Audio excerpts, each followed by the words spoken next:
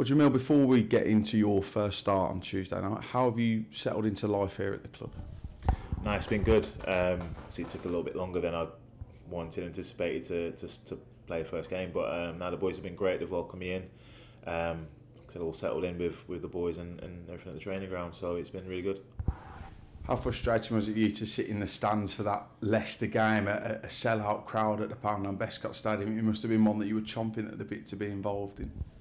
Yeah, it was frustrating to be honest. Um, like I said, especially because I hadn't played a game and then um, I was probably up in the stand, you know, kicking and heading every ball, to be honest. But um, you know what? It's one of those. The boys had done all the hard work to get there, so I was frustrated. But at the same time, you know, I think the boys obviously got their got their got the, the club there, deserved the chance to obviously play in that game. So um, I'd love to have played a part, but you know, the boys did themselves proud and did the club proud. You got your debut for the Saddlers on Tuesday night against Salford. A frustrating game at the end of it, coming away with a 1 0 defeat. Your views on that one?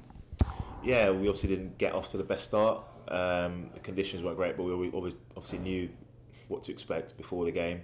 Um, and yeah, I think it's one of those. I think once we grew into the game, as the game got going, we were probably a stronger team. I thought.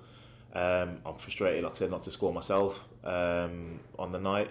Um, but I think it's you know how we grew into the game, and it, it's that's more positive. It's my first time playing with the team, so kind of you know seeing how I fit, fit into that. Um, but yeah, I think it's um, we know we, we, we want to have a reaction to that now, and we'll be looking forward to that on Saturday. The beauty of the fixture list at the moment is that those games are coming thick and fast. I think it works out to about 12 in six and a half to seven weeks now. So if there is a disappointment like there was on Tuesday, there's always that immediate reaction that we can have with a game coming, like I say, a couple of days later. Yeah, I think that's what you always look, look to. Um, you know, you'll replay, like myself, you replay pictures in a game and think what you could have done better. Um, so from if you've got to wait maybe a week to, to try and you know put that right, then sometimes you know you can have that replay in your head for a couple of days. But um, yeah, with the games coming thick and fast now, you know it's it's kind of right. Put that one kind of to the side and, and try to improve for the next one. So with Northampton coming now tomorrow, we, we will be looking to do that.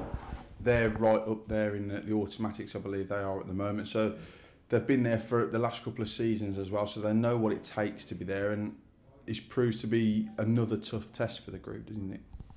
Yeah, it'll be a tough test. They were there or thereabouts last season. I'm lucky not to, to go up, um, so I'm sure that will mo- be motivation for them to try and put that right this season.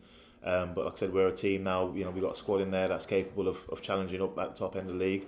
Um, so we'll be going there, you know, full of confidence and looking to, to get a result ourselves. The fans have been fantastic so far this season, travelling in great numbers, home and away.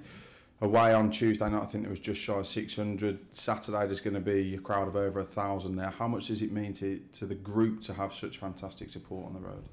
Oh, I think it's massive. I think, um, especially when we're trying to achieve, you know, trying to get ourselves to the top end of the table, um, we need everyone pulling the same direction. And the fans have been brilliant since I've I've joined the club, and I'm sure they've been all season from what I've heard. So, um, yeah, their their support's massive, and you know, when tough times are in games, you can hear them singing, and on Tuesday especially, you can hear them singing, um, and that drives the boys on to, to, to try and do better. So. Um, if you can keep pushing us towards the end of the season, you know, I'm sure we won't be far away. You mentioned it being a squad game there. Somebody who joined us late on Tuesday night, somebody who you're very close with, you know them very well, Matty Stevens. How much are you looking forward to linking up with him? Because he said he, he can't wait to get going with you again as well. Yeah, definitely. Um, a great lad, first and foremost, works his socks off for the team, um, but he's a goal scorer as well. And um, he's someone that, so we had a great partnership last season, we scored a lot of goals, um, and we worked really well together. We struck up a really good partnership.